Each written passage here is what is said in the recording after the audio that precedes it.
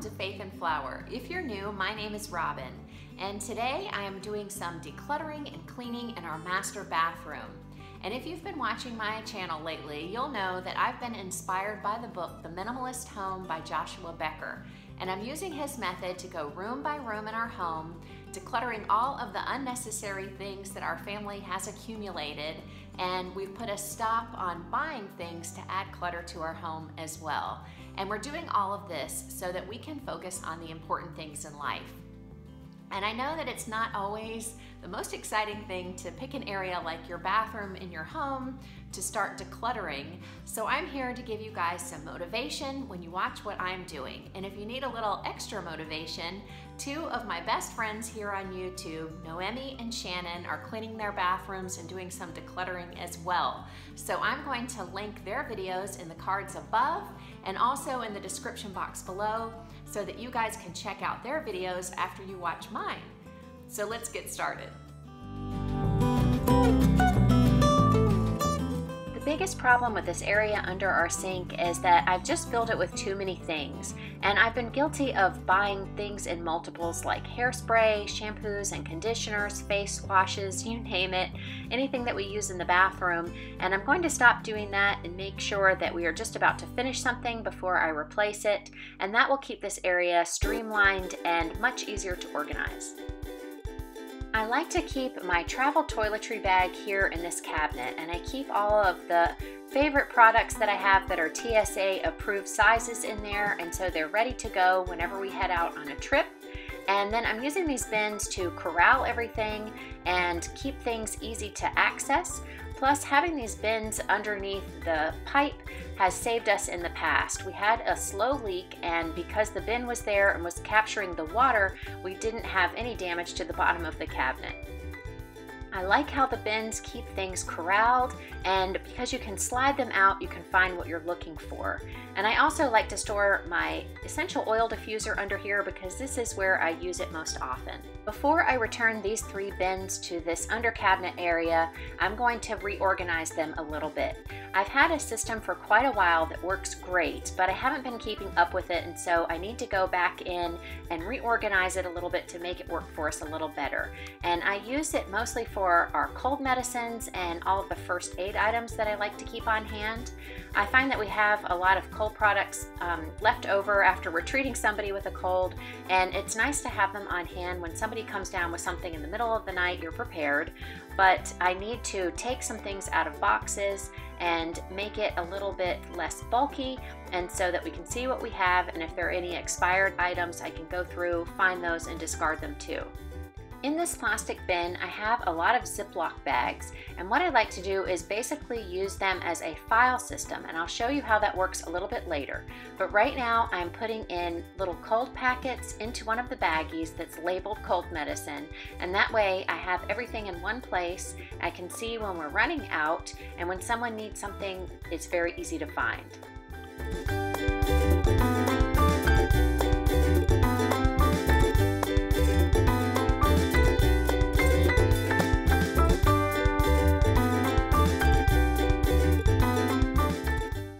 I really like this system for organizing our first aid kit and so I need to get back in the habit of replenishing these things this way and that way everything is in one place and when we need something we can easily find it.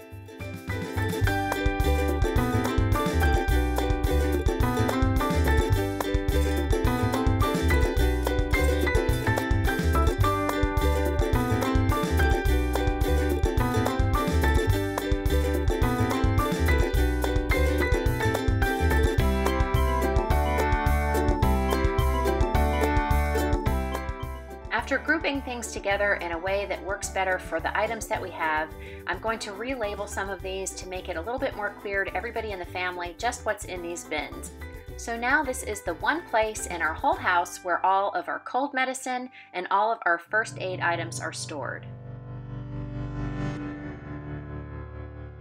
I learned this system from a friend who teaches organizing years ago, and I love it. It's perfect for our first aid box. And so anything like band aids, gauze, ointments will have a label, and when anyone in the family needs one of those things, they can quickly flip through the files, find what they need, and everything stays organized.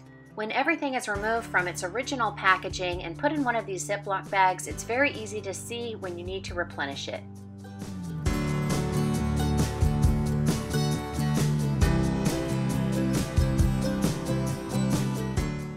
So satisfying to have an organized space that really functions because now we can see what we need and find what we're looking for. In my vanity drawers, I'm just going to go through, declutter anything that I'm not using anymore, and then I'm going to group like things together so that everything is consolidated and we can find things that are related in the same area.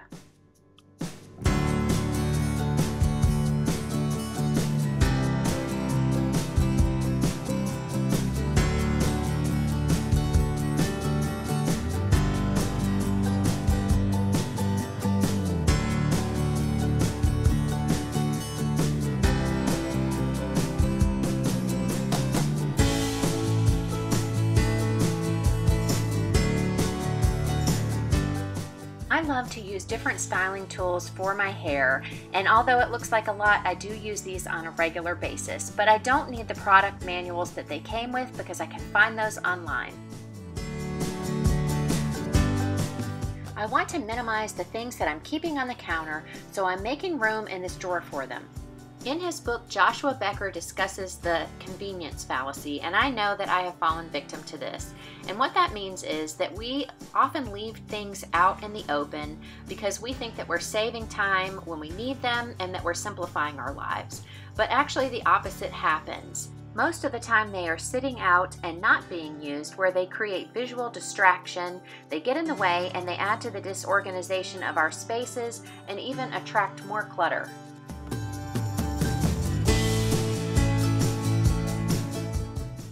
The other clutter that I'm removing from our bathroom are extra towels.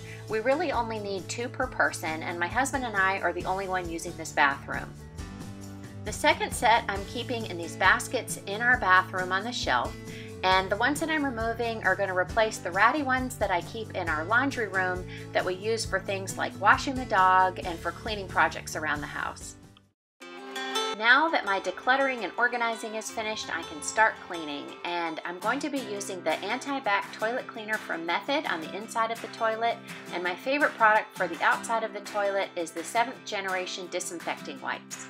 I'm not usually a really big fan of disposable products that we use in our home, but I do like these toilet cleaners and I make exception for them because I can quickly clean the toilet, just throw them away, and I don't have to worry about using a cloth that might cross-contaminate another surface.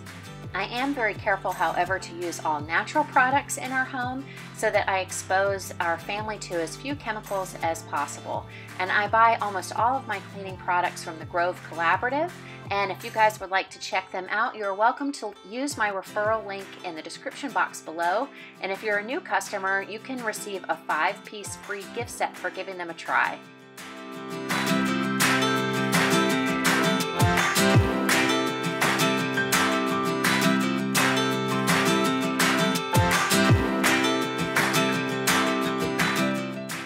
Tub, I like to use the Grove Collaborative Tub and Tile Concentrate and I like to spray it on and then let it sit for a little bit.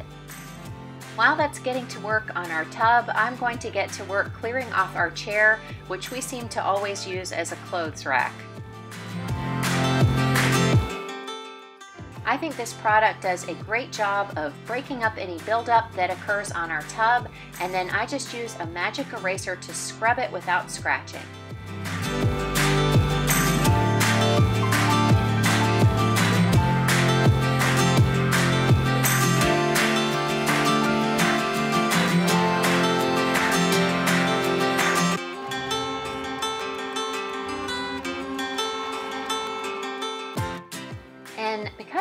Extra frugal, I always cut my magic erasers in half.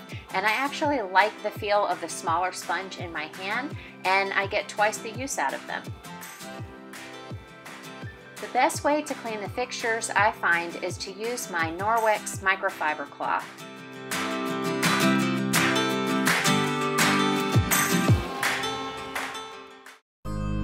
To clean my husband's vanity, I start by clearing everything off and then I just use a damp Norwex cloth to clean the mirrors.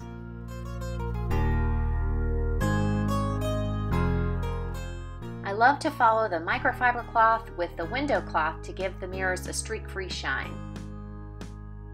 For the sink and the vanity, I like using the Grove Collaborative All-Purpose Cleaning Concentrate because it is safe for our granite countertops. I also love that it's scented with rosemary and orange essential oils so it smells amazing. And just like the mirrors, after I clean the fixtures with the Norwex microfiber cloth, I follow with the window cloth to give them a streak-free shine. Then I wipe everything clean before I put it back on the countertop. Then I just repeat everything over on my vanity. And with the tray and all of its contents decluttered, I have a lot less things to move.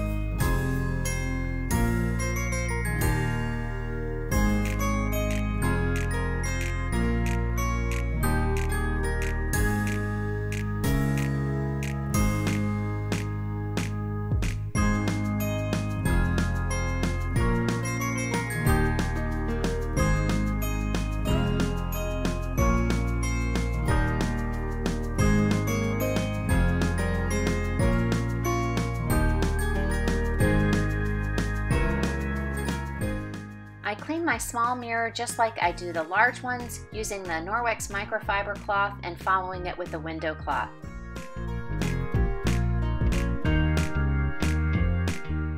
To get ready for vacuuming and then mopping, I like to remove everything that I can from the floor. I'm not cleaning our shower today because my husband and I always wipe down all of the surfaces with a damp microfiber cloth from Norwex. And this really saves me a lot of time cleaning and scrubbing our shower and I don't have to buy a lot of extra products for that either.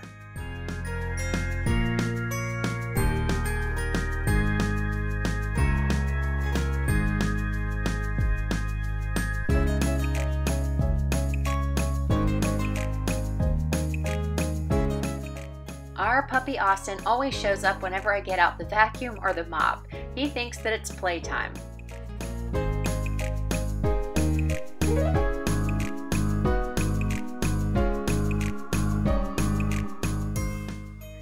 The floors, I'm just using a damp microfiber pad from eCloth.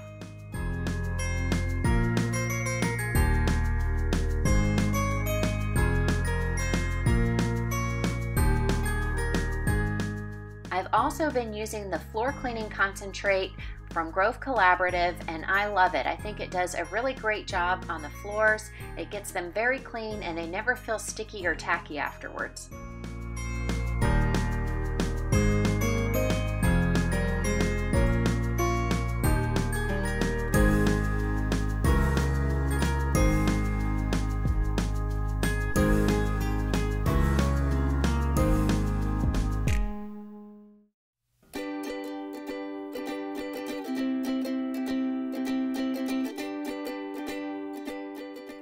Once the floors are dry, I can return everything back to their proper places and our bathroom is open for business again. I hope you guys enjoyed today's video and if you are coming over from Shannon or Noemi's channel, I just want to say welcome.